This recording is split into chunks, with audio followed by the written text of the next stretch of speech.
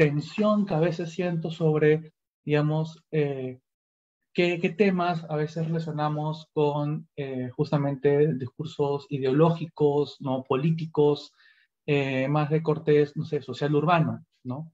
Este, mi impresión este, es que, por ejemplo, este fenómeno del terruqueo es algo que, por ejemplo, en, redes es como que muy, muy intenso.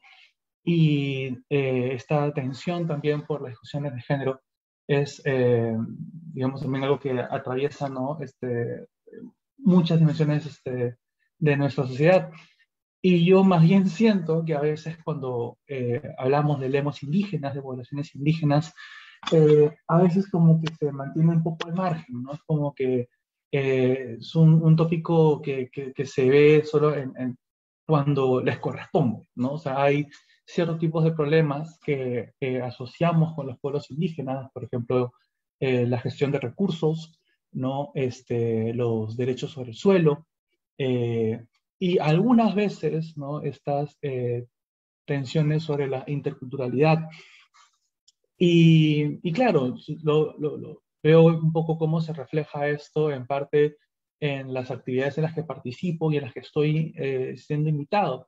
Así que, de hecho, este, un evento de este tipo eh, para mí es un tanto nuevo, eh, lo cual también me genera cierto tipo de excitación, también me gusta. y también siento que es un poco extraño, ¿no? O sea, yo estoy muy acostumbrado a, ver que las discusiones de pueblos indígenas se dan en cierto tipo de, foro y me da mucho gusto eh, ver que acá de pronto se puede generar otro tipo de espacio. Bien, ahora, el título de esta presentación era ¿no? Lecciones de la pandemia, limitaciones y alcances de las lenguas indígenas en COVID-19. Bien, eh, no es propiamente una eh, investigación en curso, probablemente pueda ser una investigación en curso después de esta noche, en tanto estoy tratando, digamos, de ordenar algunas ideas sobre esto. Pero básicamente lo que esta ponencia revisa son algunos casos concretos de uso político de las lenguas indígenas ¿bien? y de cómo el Estado ha venido gestionando la pandemia. Hay algunos ejemplos muy concretos eh, documentados ¿no? en, portales como Ojo Público, por Rodrigo Lazo o Carolina Rodríguez Salsa. Este, y en parte lo que me interesa es ver cómo esta gestión de la pandemia de alguna manera no refleja estas limitaciones en cómo el Estado se ve a sí mismo. El Estado eh, no se reconoce como una institución plurilingüe. ¿bien? Y como venía diciendo hace unos segundos atrás, ¿no? la interculturalidad o esta, esta tensión entre culturas es solo necesaria, o se piensa como algo solo necesario en algunos espacios eh, y sobre todo en ambientes rurales. ¿no? Lo que la crisis nos ha mostrado es que esta poca preocupación eh, por los pueblos indígenas pues lleva a una catástrofe en la gestión de la salud pública, en particular con ellos, ¿no? Y bueno, eh, si bien existen estas limitaciones, hay también, eh, recientemente hubo la posibilidad de discutir un nuevo alcance. ustedes deben saber pues que el Plan Nacional de Lenguas Originarias, Tradición Oral e Interculturalidad las siglas son horribles, P-N-L-O-T-I, este, fue sometido a consulta pública hasta el mes de mayo, ¿no? hasta prácticamente este mes, la semana pasada. Y dentro de ese marco eh, se discute un poco, digamos, cuáles deberían ser las actitudes que tenga el Estado en relación a las lenguas indígenas y cómo éstas deben ser gestionadas. Lo que a mí me resulta eh, muy preocupante es que dentro del marco de nuestra actual pandemia sanitaria, es eh, increíble, por ejemplo, cómo la cobertura de algunos servicios del Estado no están presentes. En este eh, plan nacional, por ejemplo, no hay una participación directa este, del Ministerio de Salud. ¿no? Claramente hay servicios del Estado vinculados, por ejemplo, a la RENIEC, ¿no? tener DNIs bilingües, eh, al Ministerio de Cultura, al Ministerio de Educación, ¿no? los, los ministerios que tradicionalmente participan en, esta, en estos temas, pero eh, eh, el MINSA no, no, tiene ningún servicio vinculado con este, las lenguas indígenas, con los pueblos indígenas, con ellos no es. ¿bien? Uno podría decir que el MINSA tiene también una dirección, digamos, que, en la que se relacionan estos temas, pero claramente me parece muy curioso ¿no? que eh, un tema, digamos, que también siento que debería ser transversal para todos, ¿no? Nuevamente se enfatiza en que solo corresponde eh, para algunos casos. Em, y esto, ¿no? Entonces, yo sí creo que deberíamos plantearnos eh, qué supone no ser un país plurilingüe y qué supone el uso político de las lenguas indígenas, ¿no? Eh, yo sí creo que deberíamos asumir de entrada que, este, que somos, debería ser una institución plurilingüe, ¿bien? Y que en ese sentido todos los servicios debemos pensarlos, digamos, en, en todas las lenguas y que el alcance, ¿no? Sea este, posible incluso en espacios urbanos. ¿Bien? A mí, por ejemplo, me llama mucho la atención, por ejemplo, que en, en áreas como Yarina Cocha, y eso este, lo sé por, por comentarios de Carolina Rodríguez, también de Pilar Valenzuela, que son lingüistas que han trabajado ya un buen tiempo en, en ese territorio. ¿no? En el hospital de Yarina Cocha, que es un, un, distrito donde se habla shipibo, no, no hay ningún tipo de señalética ¿no? este, en shipibo con Ivo. ¿no? Y un poco que la lógica es, bueno, pero este, también hablan español, ¿no? ¿Cuál es la necesidad de colocar información en Shitigo y en, si ellos también hablan español? No, porque es un derecho. Este, y porque también deberíamos estar, digamos, interesados en, en, saber, ¿no? Qué tipo de, este, ¿no? Eh, inquietudes, ¿no? O comodidades, o, o, o, bueno, ¿no? Consultas se puedan dar en la lengua materna de las personas, ¿no? Como comenté hace un rato, Rodrigo Lazo y Carolina Rodríguez han revisado, eh, digamos, varios argumentos ¿no? para sostener que el Estado se asume como una institución monolingüe. Y ser monolingüe, en este caso, no es solamente el hecho de hablar una sola lengua, sino en organizar al Estado en las lógicas de la sociedad que impone esta lengua. Los bonos rurales ¿no? y las aglomeraciones que han sido producto de esos bonos, por ejemplo, son el resultado de la aplicación de lógica urbana e hispanohablante en espacios rurales donde se hablan también lenguas indígenas. ¿no? Eh, parte de esos problemas ¿no? recae en el hecho de pensar que, digamos, eh, uno podía simplemente eh, crear espacios para recoger los bonos ¿no? en, en, todos los sitios del país, pero muchas veces existe solamente un punto ¿no? donde se, pueda, se podía recoger estos bonos. Y esto generaba, pues, colas eh, tremendamente largas, aglomeraciones, ¿no? riesgos de contagio. De acuerdo con Lazo, el control sobre el tránsito durante la pandemia convierte al Estado mismo en el principal responsable de las rutas del virus. ¿no? Del mismo modo, ¿no? este, establecen condiciones para visibilizar a la población indígena. Sobre eso, digamos, ya se ha discutido un montón durante el año pasado, no, no debemos olvidar este, estas críticas a la gestión eh, digamos, tristemente burocráticas, ¿no? Ese famoso maldito Estado beneficiente, que de hecho llevó a que tome al menos 70 días la publicación de los lineamientos para el traslado de bienes y alimentos para comunidades nativas. ¿Ya? Es decir, comenzó la pandemia y 70 días después, ¿no? recién tenemos un lineamiento para el traslado de bienes a comunidades nativas. Eso obviamente congela, eh, o tuvo congelados fondos del Estado y, digamos, mantuvo una incertidumbre muy, muy fuerte en el caso de estos pueblos. Además, no solamente eso, sino que recién un mes después de su publicación se aprobó el presupuesto. ¿bien? Las condiciones, bien, o bien la presencia del Estado en la región del Amazonas es también eh, sumamente pobre, ¿no? Hay claras muestras de, de, de, brechas en ese sentido, al menos el 82% de los centros de salud no cumplen con los estándares de capacidad del año 2020. Y el MINSA proyecta que para el año 2023, o sea, todavía en, dos años más, esa brecha del 82% se reduciría recién en un 1.83%. ¿bien? Además de esto, hay muchos problemas en la gestión de la información.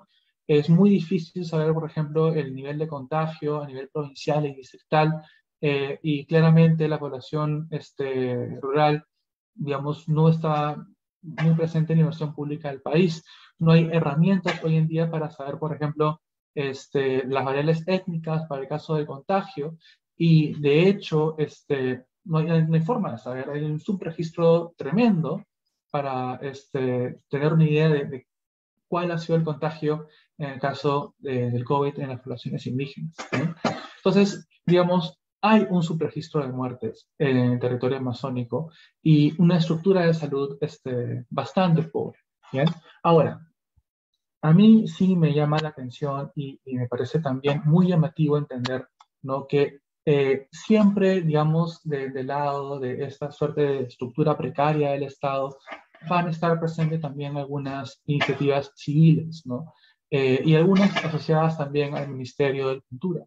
Eh, por ejemplo, este, hay, algunos portales y también algunas instituciones privadas, este, Ojo Público, eh, bueno, Formaviap, ¿no? que por ejemplo tenían estas iniciativas de tener revisiones de audios, ¿no? O traducción de audios ah, para las redes regionales con información acerca del virus. ¿no?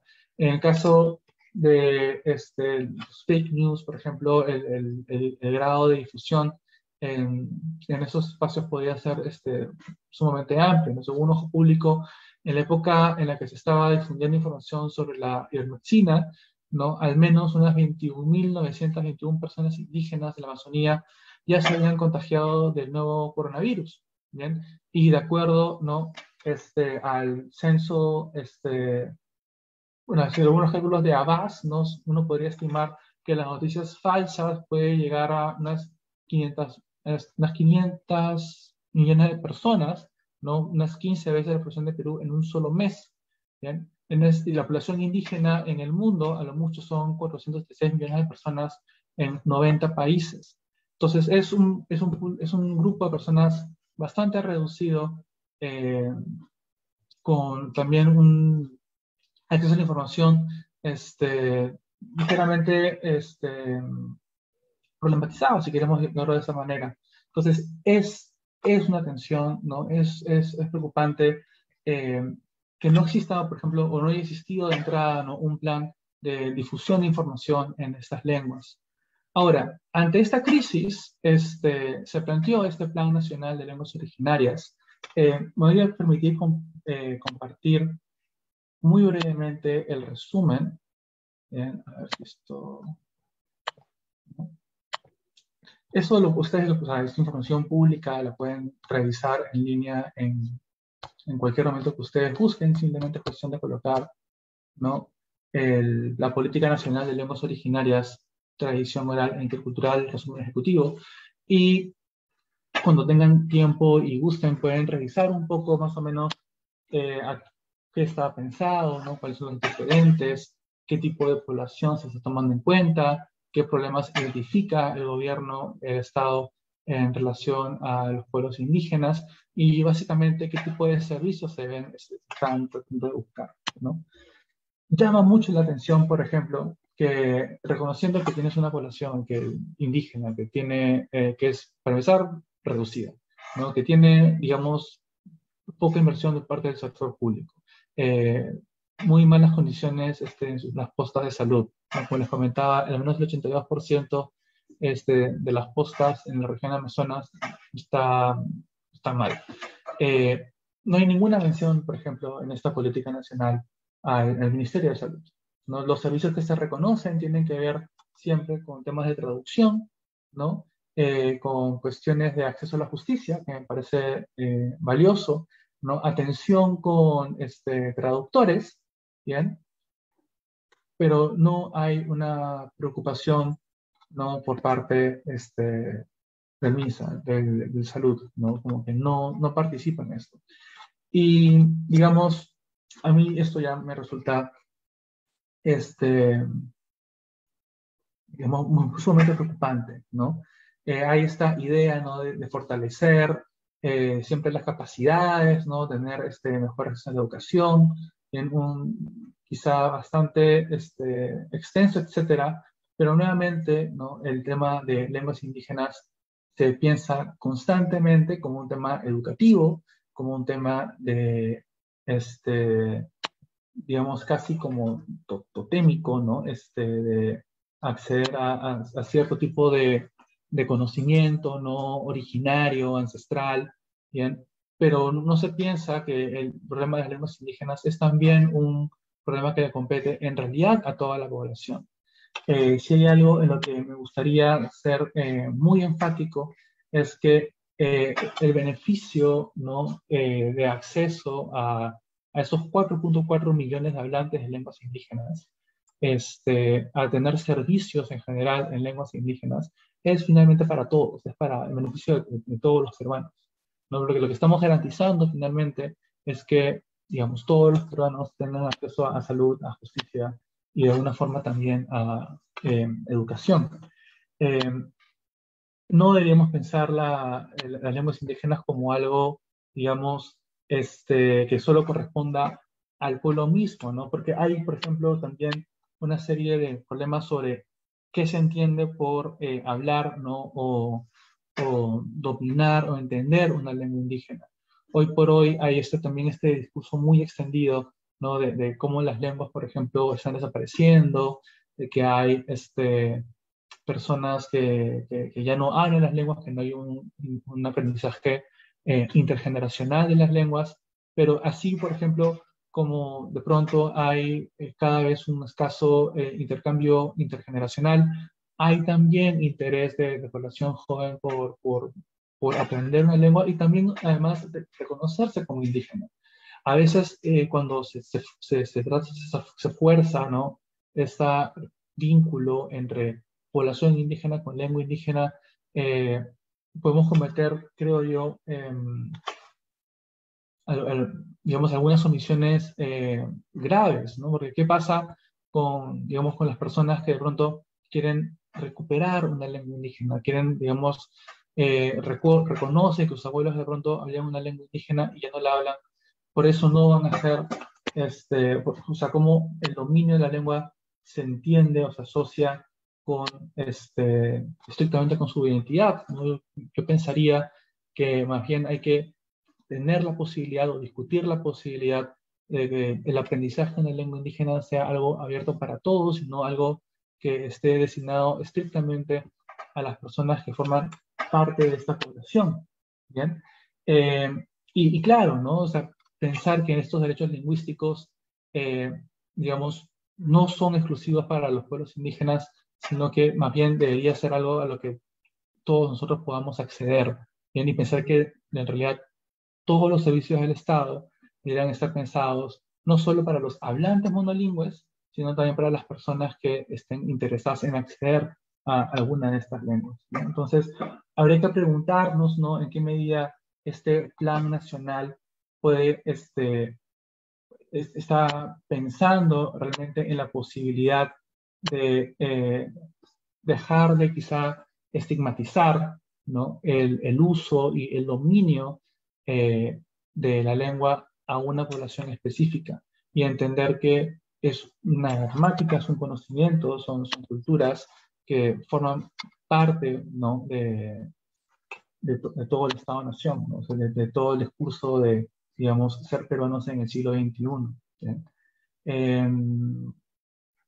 Y sí, ¿no? O sea, un poco que la atención, al menos para mí, va por ahí, ¿no? Que eh, hay como que mucha presión para pensar en, en esta idea de sociedades monolingües que tienen una lengua indígena, pero no hay eh, una reflexión sobre cómo podemos pensarnos como quizás un país más plurilingüe. Y sí creo que al empezar a pensarnos como una sociedad eh, más plurilingüe, podríamos empezar a ver que hay, em, que bueno, ¿no? que hay una necesidad de, que las lenguas estén al alcance de todos, que uno pueda llegar a un hospital y encontrar facilidades para que la gente pueda ser atendida ¿no? en una lengua. Si lo que deberíamos aprender de la pandemia, creo, es que el acceso a, la salud debería estar garantizada este, en, en, todas las lenguas que se hablan, ¿no? Sea, sean lenguas o no de la región. Y eso creo que es una tensión que ahorita como que no queremos abordar.